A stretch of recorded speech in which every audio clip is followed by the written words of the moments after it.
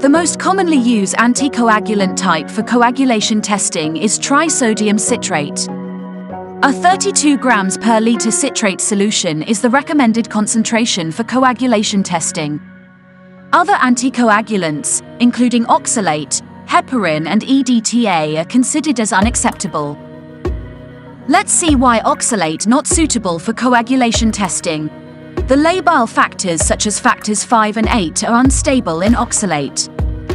Heparin and EDTA not suitable due to directly inhibit the coagulation process and interfere with endpoint determinations.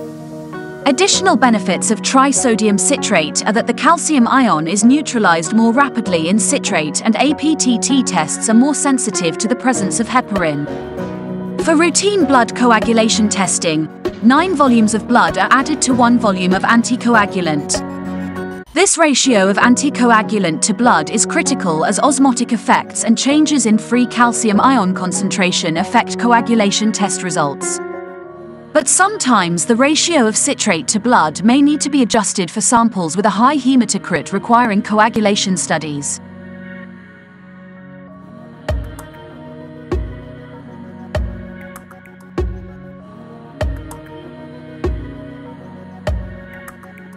Are interested in my video creation, like this video, feel free to give your comment. Please subscribe us on YouTube.